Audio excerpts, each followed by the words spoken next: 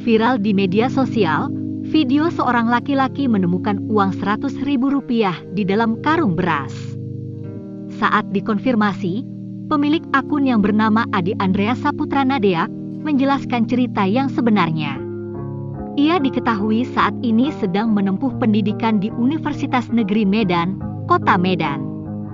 Untuk menambah bekalnya selama tinggal di Medan, orang tuanya selalu mengirimkan beras dan uang ke Adi alasan masukkan amplop dalam beras.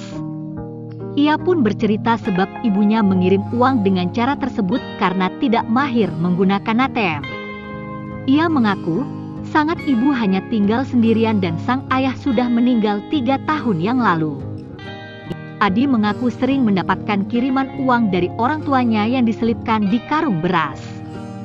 Ia mengaku orang tuanya jarang melakukannya hanya dua kali dalam satu semester. Sementara, untuk memenuhi kebutuhan lainnya, ia harus bekerja sembari berkuliah. Belum lama ini, ia pun menerima kiriman beras dari orang tuanya.